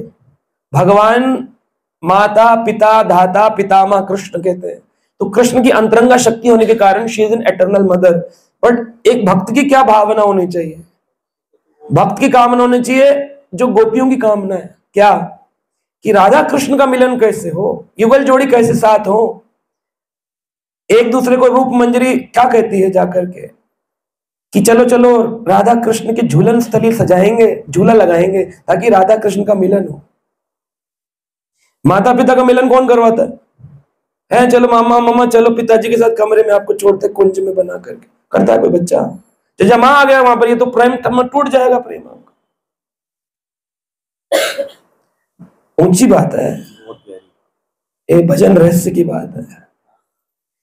लेकिन जनरली कृष्ण अगर परम पिता है तो बोलते राधा रानी परम माता है। इस संसार की सभी शक्तियों को शक्ति प्रदान करने वाली, बिल्कुल सही है, शास्त्रिक दृष्टि ठीक है, लेकिन भाव की दृष्टि नहीं भक्ति की भाव की दृष्टि में तो हाँ वहाँ तो माधुर्य की बात हो रही है। हमें अगर, हमें प्रवेश करना है गोलोक वृंदावन धाम, हमें कल गोपाल चंपू पढ़ रहा था। गोलोक प्रथम अध्याय तो गोलोक का ही वर्णन कर रहा है। कहा कृष्ण है? नंद यशोदा के पास भी कृष्ण बैठते नहीं। दक्षिण, उत्तर, पूर्व, पश्चिम अलग अलग द्वारों पर अलग अलग एक तरफ़ बलराम रहते हैं, एक तरफ़ कृष्ण रहते हैं, एक तरफ़ राधिका गोपियाँ हैं, एक तरफ़ नंद यशोदा है। बीच की कर्णिका, जो कमल पुष्प की बीच की कर्णिका है, केसरी, उसके ऊपर रत्न सिंहासन पर कृष्ण बैठे हैं और इंतज़ार में कि कब राधा रानी आएँगी। तो अगर नंद यशोदा आ जाए तो क्या रास होगा? बलराम जी आ जाए। बलराम जी का तो, तो रास नहीं हो सकता। और आप लोग हरे कृष्ण क्या करते हो? श्रीमती राधा रानी है कृष्ण मुझे अपनी कौन सी सेवा में लगाई है? वह राधा कृष्ण का जो निरंतर नित्य लीला चल रही है उस सेवा में प्रवेश तो कैसे होगा? आप तो माँ मान के बैठे हो। माँ मानने वाले वो कृष्ण लेके आएँगे नहीं अपने रास में कहें तुम बाहर रहो यशनंद यशोदा के पास रहो अभी यहाँ पर बताओ क्योंकि अभी तो तुम्हारा प्रेम का संबंध ही नहीं स्थापित। अच्छा संबंध ही नहीं है, वहाँ अविद्या क्या हो, प्रयोजन क्या?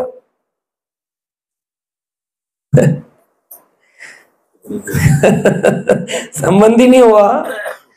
शिल प्रभुपाद जी का प्रसंग दिखा सकता हूँ मैं आपको। आप कहेंगे, इतनी गहरी बात है हम कैसे पढ़े? भागवत में लिखा है राधा कृष्ण कभी आरती स्वीकार नहीं करते। राधा कृष्ण की कोई आरती नहीं होती। राधा कृष्ण के स्तर पर तो प्रेम है, वहाँ आरती है ही आरती तो केवल उन्हीं स्वरूप में लक्ष्मी नारायण जब प्रकट होते हैं तो ऑल्टर में एक व्यक्ति, रुक्मणी द्वारकाधीश या फिर लक्ष्मी नारायण भाव में उनकी आरती करता है। कि जहाँ वो राधा कृष्ण हो गए, गोपियों ने कब आरती करी कृष्ण की? हाँ। और भागवत में लिखा है, ये प्रभुपा जी के तात्पर्य में है, चौथे स्कंद में। तो आप पढ़िए उनको, तब आपको भागवत, इसीलिए भागवत को पढ़ना ये भक्त संघ में है। भागवत गेह भागवत स्थान। है भागवत का ग्रहण करना, भागवत स्थान भगवत भक्त के साथ बैठकर चर्चा करनी पड़ेगी।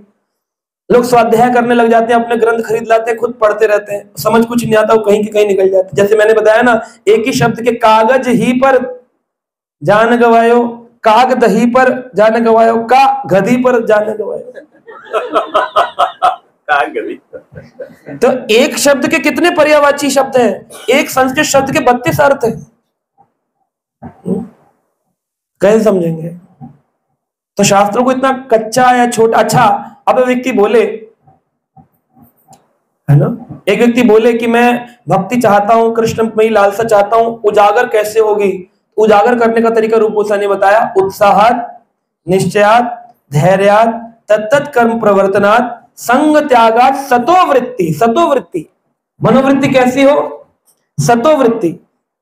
सतोवृत्ति क्या? संतों की वृत्ति हो। संतों में वृत्ति हो। ऊट पटांग चीज़ों में वृत्ति ना हो, संत में वृत्ति हो। संत कौन है? जो शास्त्रिक प्रमाणों के साथ बात करते हैं। है ना? शास्त्रिक प्रमाणों से बात करते हैं। एक जन्म में प्राप्त हो सकता है कि नहीं हो सकता है? एक जन्म में हो सकता है कि नहीं। क्रमिक विकास है। एक व्यक्ति नास्तिकता से पहले आस्तिक बनता है। आस्तिक के बाद वो धीरे धीरे क्रमिक विकास करता है। फिर वो गणपति धर्म और शाक्त धर्म, शैव धर्म, है ना? सौर्य धर्म सौर्य धर्म, शाक्त धर्म में शक्ति की उपासना है। शैव धर्म में शिव की उपासना है। गणपत्य धर्म में गणपति की उपासना है। शौर्य धर्म में सूर्य की उपासना है। शिल भक्ति ठाकुर कहते क्रमिक विकास होता है, नास्तिक से आस्तिक होते हैं। आस्तिक बनने के बाद मनुष्यत्व को प्राप्त होते हैं। मनुष्य बनते हैं जो हिंसा नहीं करते मनुष्य बनने के बाद मुमुक्षु बनते हैं मुक्ति की कामना करते हैं। मुक्ति के बाद फिर वो धार्मिक बनते हैं। धर्म में फिर वो सौर्य धर्म, गणपत्य धर्म, शाक्त धर्म, शैव धर्म करते हुए वैष्णव धर्म तक पहुँचते हैं। एक जीवन का काल नहीं है। भगवत गीता में निकाली एक श्लोक है छठे अध्याय का पैतालीस नंबर श्लोक। उसमें कृष्ण क्या कहते हैं?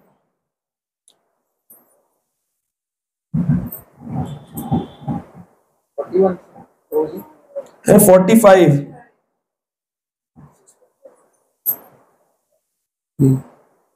मेरे पास तो है। आप पढ़िए। क्या कहते हैं? प्रयत्नात् बोलिए। योगी संशुद्धो किल्बिषा। अनेक जन्म संसिद्धो। ततो याति परम गतिम। क्या मतलब है? प्रयत्नात यत मानस्तु यत माना यानी कि एंडवरिंग यत माना प्रयत्न करना पड़ेगा। जो लोग प्रयत्न कर रहे हैं प्रयत्नात्म प्रभुपाद ने लिखा रिजिड प्रोसेस दृढ़ता से जो इन नियमों का पालन करेंगे, ऐसा नहीं होगा आप राधा कृष्ण के माधुर्य में सोच के बैठ जाओ, मैं गोपी हूँ, मैं मंजरी हूँ, मैं मैं ये नहीं मानूँगा, ऐसे नहीं होगा। इमिटेट नहीं कर सकते आप। फिर सहजिया बन जाओगे। या फिर सखी बेकी संप्रदाय में चले जाओगे। सखी बेकी में वो लोग अपने को सखी मानकर बैठ जाते हैं। सखी बेकी बन जाओगे या सहजिया बन जाओगे। हम्म? लेकिन प्रयत्नात यत मानस तो जो लोग प्रयत्न कर रहे हैं इस मार्ग में, योगी संसिद्धो कलविश वो योगी भक्त, योगी का सारे के सारे कलमश ठाकुर जी धो डालेंगे प्रयत्न करते करते हरि नाम के माध्यम से। अभी बताया, इसी पर विश्वास होना चाहिए कि हरि नाम में ही वो शक्ति है। अब ढूँढने मत लग जाओ कि कैसे कैसे पाएँगे गोपी भाव, कैसे पाएँगे? अरे गुरु जी ने कैसे पाया? प्रभुपाद ने कैसे पाया? रूप गोस्वामी ने कैसे पाया? उसी हरि नाम से पाया ना? तो आप भी वैसे ही पाओगे। तत्त कर्म प्रवर्तनाथ यही तो बोला। उसी कर्म पर चलना है जो गुरु जी का बताया कर्म है। प्रयत्नाद्यत मानस्तु योगी समसिद्ध हो किल विषय अनेक जन्म समसिद्ध एक जन्म में नहीं प्राप्त होंगे, भगवान। अनेक जन्म समसिद्ध हो पढ़िए। इसका मीनिंग क्या लिखा है? ट्रांसलेशन पढ़िए The accumulated practice of many past lives becomes the helpful breeze for spiritual progress. In this breeze, the yogi continue, continuing from the past lives, ah. hoist their sail in the form of sincere endeavor in the present life. Ah. Sri Krishna uses the word prayatnan, yata, uh, yatamanastu, hmm. which means striving harder than before. हाँ striving harder than before. पहले से भी ज़्यादा आपको और दृढ़ मान लीजिए आप आज माला पे आ गए क्या आपको लगता है पहले जन्म में आ गए? पहले से करते आ रहे अनेक जन्म संसिद्ध हो। पिछले जन्म में कुछ किया था थोड़ा रह गया फिर थोड़ा रह गया फिर थोड़ा रह गया। हर बार कुछ ना कुछ किलबिशम कुछ कलमश रह जाता है। अनेक जन्म संसिद्ध हो। सारे जब जन्म सिद्ध हो जाएँगे तब जाकर के आपको ये मार्ग मिलता है। तो इसलिए आपने पिछले जन्म में जितना किया उससे भी ज़्यादा इस बार ज़ोर लगाना है। हरे कृष्णा हरे कृष्णा कृष्णा कृष्णा हरे हरे हरे राम हरे राम राम राम हरे हरे और कैसा प्रयास करना है? ततो यान्ति पराम गतिम परम गति की प्राप्ति हो। इसके बाद वाले लाइन में भी यही बोल रहे हैं। क्या? उन्होंने यही वर्ड यूज़ किया है। The word to. Indicates their present endeavor is deeper than in previous life हाँ। When they were unsuccessful in completing the journey. Yes तो आप अनसक्सेसफुल रहे पूर्व में हुआ नहीं तो उस योगी को इस बार ये माला मिली ऐसे मत समझ लो कि प्रभु जी ने दे दी माला हमको। नहीं नहीं नहीं पिछले जन्म में आपने किया गुरु के पालन नहीं किया इसलिए वह दोबारा इस जन्म में आपको गुरु तत्व रूप में दूसरा व्यक्ति आकर उस ज्ञान को दे रहा है। अब की बार भी मार्ग छूट गया, फिर अगला जन्म, फिर अगला जन्म। लेकिन एक जन्म में तो पहुँचेंगे नहीं। पिछले जन्म से इस बार थोड़ा और थोड़ा ज़ोर लगाना पड़ेगा। तत्त कर्म प्रवर्तना, फिर क्या होगा? ततो यान्ति परम गतिम। परम गति की प्राप्ति होती है। इसी जन्म के अंदर हो जाए तो अच्छा है। ऐसा शास्त्र में वर्णन किया गया। हम्म। तो इसको लेकर के यहाँ पर बहुत सारी चर्चाएँ हम करते हैं। हम्म।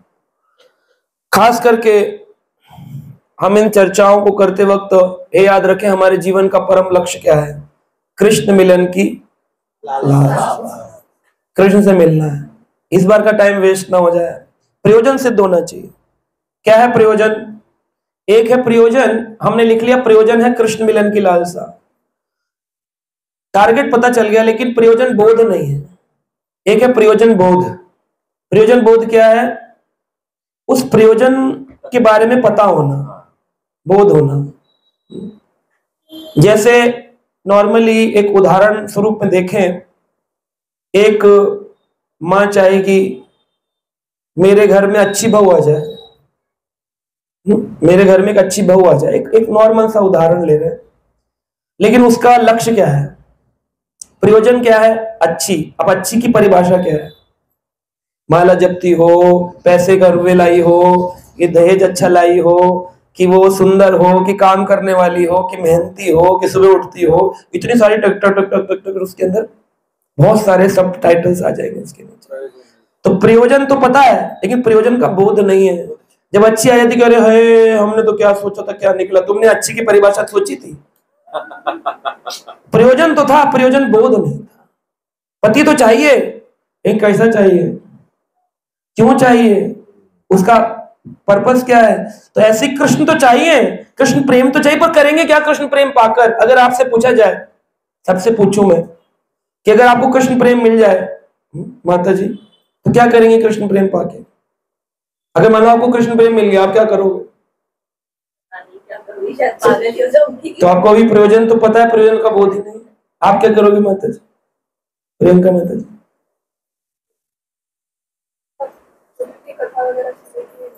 कथा कहाँ सुनोगे? कृष्ण प्रेम मिल गया। सेवा कृष्ण प्रेम मिलने के कौन कथा सुनता है? कथा तो सुनी नहीं जाती है। ऐसी आतुर तकलीफ़ होती है ना कृष्ण नाम आएगा तो तकलीफ़ होगी हृदय के अंदर दर्द होने लग जाएगा। कृष्ण विरह महसूस होने लग जाएगा। पल पल कृष्ण नाम से ऐसा हो जाएगा व्यक्ति बस विहल हो जाता है बार बार सुन नहीं पाएगा आदमी बैठ के। ओनली सेवा ही है वहाँ पे। सेवा ही है, सेवा सेवा भी नहीं है। सेवा है। जैसे अगर अब मंत्रों के हिसाब से देखें तो जो तीसरा वाला मंत्र जो है क्या? प्रणाता शून्य चेना नहीं नहीं नहीं जैसे प्रयोजन में जैसे कि हम दामोदर जी का करते हैं ना राधा और फिर गोविंद देव प्रेम है प्रेम। गोपीनाथ। गोपीनाथ जी प्रयोज गोपीनाथ जी का जो है ना सेवा ही होता है वहाँ। हाँ। गोपी भाव से सेवा ही है। प्रेम। सेवा तो ठीक है लेकिन सेवा में क्या? उनकी खुशी के लिए उनकी प्रसन्नता के लिए राधा कृष्ण के मिलन के लिए जैसे महामंत्र में जैसा है रास का हमेशा आयोजन करना। सेवा का पर्पज होगा जिसको कृष्ण प्रेम मिल जाएगा वो व्यक्ति कृष्ण प्रेम को वितरित करेगा। हरी हरी। अपने पास कैसे रखेगा? कृष्ण प्रेम मिलेगा। भाई हम क्या गाते हैं? कृष्ण से तोमार कृष्ण दीते पारो तोमार शक्ति आचे तो वो कृष्ण से तुम्हारा कृष्ण जिसके है उसके पास कृष्ण प्रेम है तो वही तो कृष्ण बांट रहा है। इसी को तो पाने के लिए दाई तो पाछे पाछे। इसलिए तो मैं आपके पीछे पीछे चल रहा हूँ कि वह कृष्ण जो आपको मिल गए वो मुझे भी दे दीजिए मुझे भी दे हरे। कृष्ण सेवा यही है। कृष्ण से प्रेम होने के कृष्ण वितरण करने का मन करता है। गोपियाँ इतनी प्रेम में मुक्त होती हैं कृष्ण के लिए कि वह गोपियाँ जो मक्खन बांटने जाती हैं उनके मुख से ये नहीं निकलता मक्खन ले लो दूध ले लो क्या कहती हैं? गोविंद ले लो गोपाल ले लो कृष्ण ले लो हे माधव हे यादव हे सखेती गोविंद दामोदर माधव। उनको इतना प्रेम हो गया वो कह रही कृष्ण ले लो कृष्ण ले लो। गोपाल ले लो।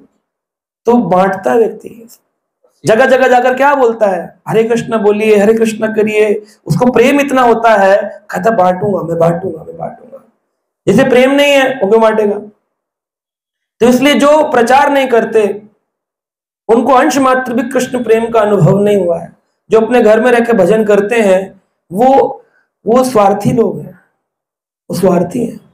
वो सोच रहे हैं, हम गोलोक धाम चले जाएँ। लेकिन कृष्ण कभी भी उस व्यक्ति को गोलोक धाम नहीं ले जाते जो स्वार्थी है। कृष्ण हमेशा उसको गोलोक धाम ले जाएँगे जो दूसरों की सेवा में लगा, क्योंकि आप ही ने कहा, कृष्ण प्रेम से सेवा आती है। स्वार्थी व्यक्ति तो सेवा ही नहीं करता।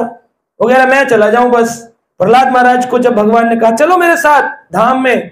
प्रहलाद ने क्या कहा?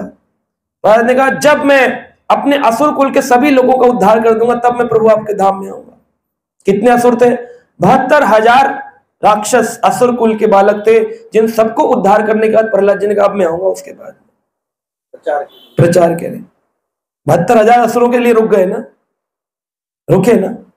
प्रभुपाद जी को कृष्ण प्रेम प्राप्त है कृष्ण का अनुभव हो चुका है झांसी में शिला प्रभुपाद जी को कृष्ण मिल गए थे। उससे भी पहले मिले होंगे लेकिन एक इंसिडेंट तो ऐसा है जो कि रजिस्टर्ड है कि प्रभुपा जी बैठे हैं और भजन गा रहे हैं। और ऊपर जो उनके पहले डिसाइपल थे हम्म, प्रभाकर मिश्रा वो यूनिवर्सिटी के प्रोफेसर थे वो ऊपर रहते थे प्रभुपाद जी को नीचे का एक कमरा दिया था जैसे माता जी ऊपर रहे और मुझे नीचे का कमरा दे दे। तो हारमोनियम पर कीर्तन कर रहे थे प्रभुपाद उन्होंने थाली रखी बोले आपका प्रसाद है। फिर वो चले गए यूनिवर्सिटी उन्होंने डिस्टर्ब नहीं किया। लौट कर आए यूनिवर्सिटी देखा थाली अब भी रखी। फिर उठाकर ले गए, बोले, खराब ना हो जाए, फिर रात को डिनर रख गए, फिर खराब ना हो जाए तो ले गए। ऐसे तीन दिन तक चलता रहा। Seventy two hours. तीसरा दिन जब हो गया, उन्होंने कहा कि हो क्या गया है? तब उन्होंने डिस्टर्ब नहीं किया एक बार। जब तीसरे दिन वो अपनी यूनिवर्सिटी से वापस आ रहे थे तो उन्होंने देखा कि आज स्वामी जी खड़े हुए हैं हारमोनियम नीचे रखा है, रो रहे रुक जाओ रुक जाओ रुक जाओ। तो उन्होंने कहा कि स्वामी जी आप किसको रोक रहे हैं? खम प्रभाकर तुमने नहीं देखा? अभी अभी तो कृष्ण यहाँ से गए। और अपने गोलोक की माला भी मेरे गले में पहना कर गए। तो प्रभाकर मिश्रा कहते हैं वह गोलोक की जो माला थी उसकी सुगंधी ऐसी थी कि मुझे यूनिवर्सिटी तक सुगंध आ रही थी। पूरे झांसी में फैल गई थी। इतनी सुगंधी थी। और वो माला के जो फूल है पुष्प वो पूरे झांसी क्या पूरे मध्य प्रदेश के पूरे भारत में ऐसे पुष्प मिलते ही नहीं। दिव्य पुष्प थे। इतने बड़े बड़े पुष्प की माला। कौन पहना सकता है?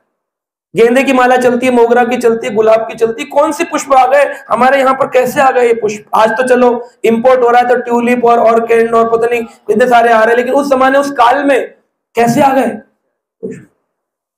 रूपा जी रो रहे थे। मत जाओ मत जाओ मत जाओ। कृष्ण आए, माला पे नहीं थैंक यू बोला, धन्यवाद कि तुमने मुझे अपने हृदय से आतुर पुकार। अब ऐसे कृष्ण प्रेम को प्राप्त करने वाले वृंदावन को चले गए तो वृंदावन में दामोदर मंदिर में बैठकर नहीं प्राण त्याग सकते, समाधि नहीं ले सकते थे। क्या ज़रूरत थी अमेरिका जाने की? जिसको कृष्ण प्रेम प्राप्त होगा, वो वितरण करेगा। जिसके पास अधिक धन होता है ना, वो बांटता है। जिसके पास आज ये अंबानीज ने इतनी बड़ी शादी करी, क्यों? आठ लाख करोड़ का पैसा है तो पाँच हज़ार करोड़ लगा दिया शादी पे जिसमें धन है, वो धन बांटता है। जिसमें मिठाई हो मान लो आपके घर में दस किलो मिठाई आ जाए खराब हो जाए क्या करोगे? अभी हमारे यहाँ वो आम उत्सव बन रहा था मंदिर में। आठ हज़ार किलो आम आ गए। कितने आठ हज़ार किलो? आठ हज़ार आठ हज़ार दस हज़ार किलो आम आ गए। ज़्यादा आ गए। दस हज़ार किलो आम क्या करते आम खराब हो जाएँगे तीन चार दिन में। रोड पर रोक रोक के एक एक किलो दो दो किलो पाँच पाँच किलो फ्री में बांटे सब लोग। क्या करें? जो चीज़ की प्रधानता ज़्यादा होगी अधिक मात्रा में उसका वितरण होगा। जिसके पास कृष्ण प्रेम होगा, वो क्या बांटेगा? गौर किशोर बाबा जी की कॉन्टेक्स्ट में इसको नहीं करेंगे। क्योंकि गौर किशोर बाबा जी जो हैं, वो एकांतिक भजन करने वाले, सिद्ध प्रणाली को प्रशिक्षा देने वाले साधु थे, जो कि उस, भाई दोनों तरह का एग्ज़ाम्पल स्थापित करना है ना। तो उस समय जो साधु वेश धारण करते थे बाबा जी वेश धारण करते थे, उनकी प्रणाली अलग होती थी। उनकी प्रणाली अलग थी, उनकी प्रचार की प्रणाली नहीं थी। वो सिद्ध अवस्था में थे। ना तो हम उनकी सिद्ध अवस्था को जान सकते हैं। ना ही हमें उसको इमिटेट करना चाहिए। क्योंकि जिसकी जो अवस्था होती है वो अलग अलग प्रकार की अलग अवस्था है। उनको मतलब शिक्षा को लेने के लिए अपने मतलब इसलिए भेजे है क्योंकि एकांतिक भजन करके उन्होंने राधा कृष्ण का अनुभव प्राप्त किया था। तो उनको लगा कि मेरा जो पुत्र है उसको वो अनुभव प्राप्त हो और फिर उस अनुभव का प्रचार हो तब जाकर के इस हरि कथा का विस्तार हो। लेकिन हरि कथा का विस्तार कैसे होगा? अनुभव तो पता हो। अब तुम ज्ञान से पुस्तक से पढ़ तो सकते हो लेकिन अनुभव कैसे बताओगे? अभी जो मैंने बताया ये प्रभुपाद जी का अनुभव है ये। अब जो ये ये अनुभव मैं तो बता रहा हूँ। जिसको हुआ हो उसकी सोचो। क्या स्थिति होगी उसकी? हाँ? एक बार कबीर जो थे, उनके पास एक दिग्विजय पंडित आया। उसने दिग्विजय यानी दिशा, दिग यानी दिशाएँ, दिग्विजय करी, दिशाओं की विजय प्राप्त करी थी। दिग्विजय पंडित आया।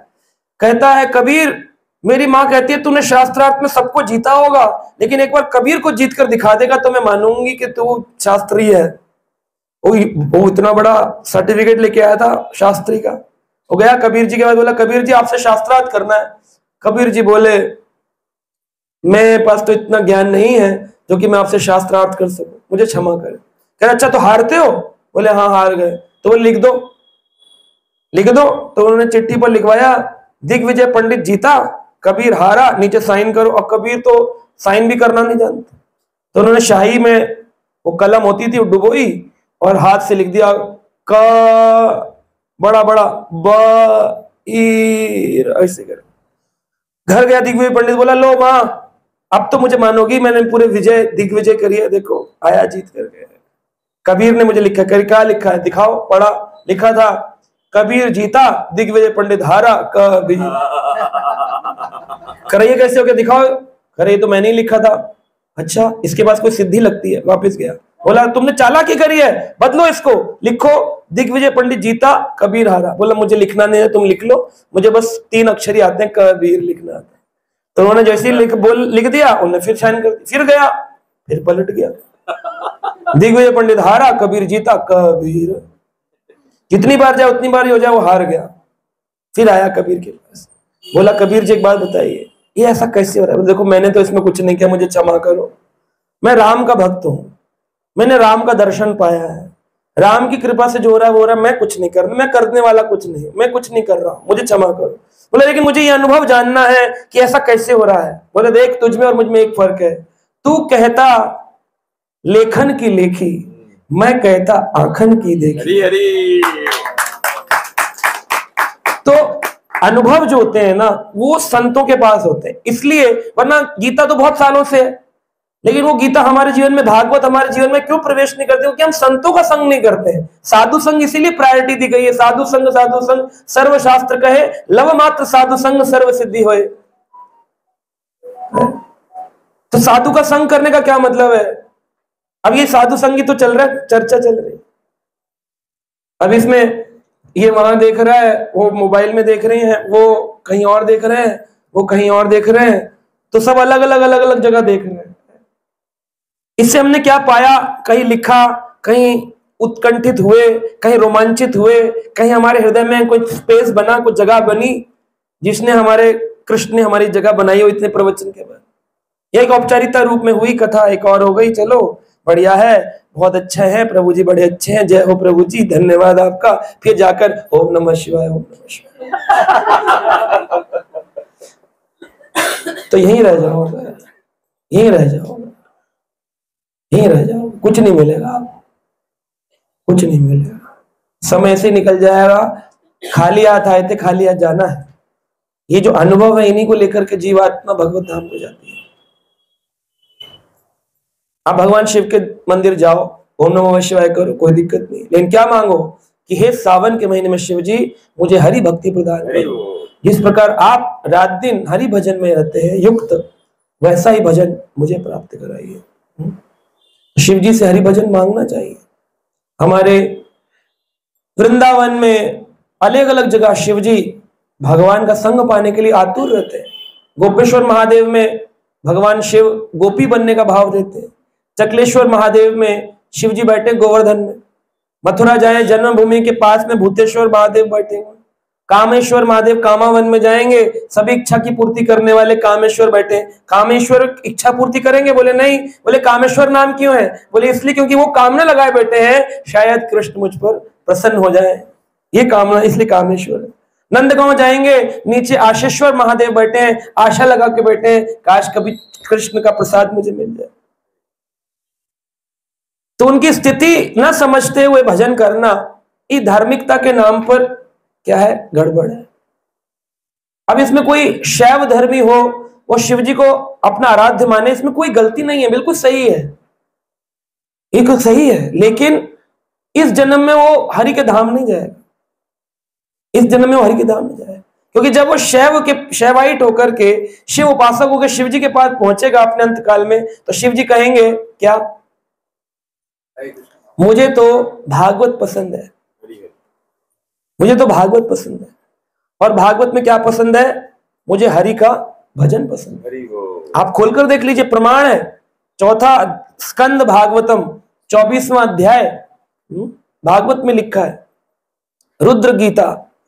उसमें प्रचेताओं के पुत्रों को जब वो तपस्या करने गए तो भगवान ने स्वयं शिवजी ने उनको क्या कहा? मैं तुमको एक गीत सुनाता हूँ।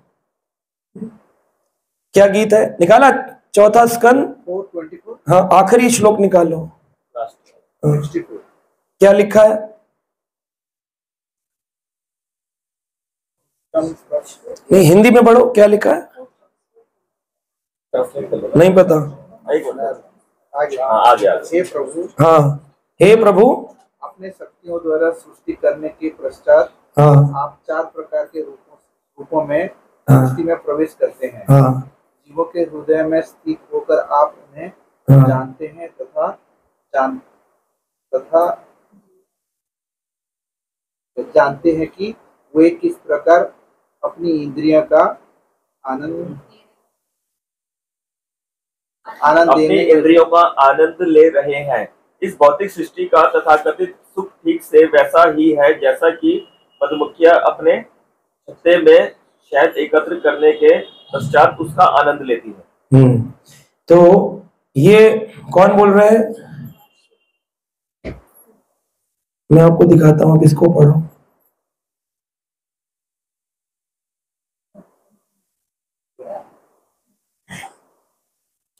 आपने आखिरी श्लोक पढ़ा था?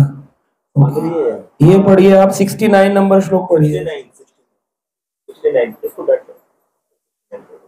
ये लिखा है, हे राजपुत्रों, प्रचेता के पुत्रों को कह रहे हैं शिव जी तुम लोग विशुद्ध हृदय से राजाओं की भांति अपने अपने नियत कर्म करते रहो।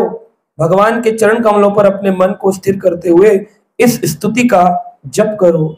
इससे तुम्हारा कल्याण होगा, क्योंकि इससे भगवान तुम पर अत्यधिक प्रसन्न होंगे कौन कह रहे हैं? शिव जी स्वयं शिव जी ने कहा है। और इसमें शिव जी ने भगवान से प्रार्थना करी है, मुझे आपके उस सुंदर श्याम सुंदर स्वरूप का दर्शन पाने की अभिलाषा है। है ना? इस प्रकार से ये रुद्र स्थिति अब ये भागवत की स्तुति को भी कोई नकार दे बोले हम नहीं मानते भागवत भागवत। तो व्यक्ति क्या ही लेवल का होगा? अब वो बोले, बोले नहीं हमने तो सुना है। तुम प्रमाण नहीं मान रहे वेद व्यास नहीं मान रहे भागवत नहीं मान रहे फिर क्या मान रहे तुम जीवन में? उसमें शिव जी कह रहे हैं हे भगवान शुद्ध भक्ति कर पाना तो मुक्त पुरुष के लिए भी कठिन है। क्या है? शुद्ध भक्ति कर पाना मुक्त पुरुष के लिए भी कठिन है। किंतु आप हैं कि एकमात्र भक्ति से ही प्रसन्न हो जाते हैं। अतः जीवन सिद्ध का इच्छुक ऐसा कौन पुरुष होगा जो आत्म साक्षात करके अन्य विधियों को अपनाएगा? कोई और अन्य विधि को अपनाएगा? ऐसा कौन व्यक्ति होगा? तो अन्य विधि को नहीं अपनाना है। तो हम सभी देवताओं का सम्मान करें। उनका स्मरण करें लेकिन उनके पास जाकर के भौतिक काम लेना कृष्ण के पास जाकर भी भौतिक काम। ये शुद्ध भक्ति अगर करना चाहे मिश्रित भक्ति में करना चाहे तो कामना के साथ भी जाए तो कृष्ण के पास जाए। हम्म? और अगर हम्म, खाली आस्तिक बनना चाहे तो फिर मंदिर जाए और खूब धन पैसा पत्नी परिवार मांगते रहे। लगी हुई लाइन लोगों की। दाता एक राम बेकारी सारी दुनिया सब खड़ी हुई है, राम जी के दरबार में मांगते रहते मांगते रहते, मांगते शुद्ध भक्ति के स्तर पर तो रंच मात्र मिश्रण नहीं ऐश्वर्य का मिश्रण ऐश्वर्य का मिश्रण, शुद्ध भक्ति का ये स्तर है। हम्म? ठीक है, हरे कृष्णा।